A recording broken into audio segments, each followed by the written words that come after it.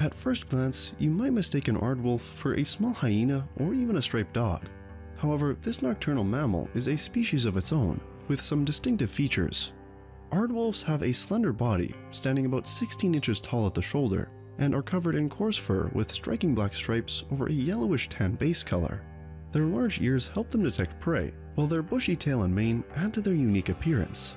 The aardwolf is an unusual creature that is native to parts of southern and east Africa, and stands out as the only species within its family. It belongs to the hyena family, but unlike their more aggressive cousins, the aardwolf has a gentle nature and mainly feeds on insects.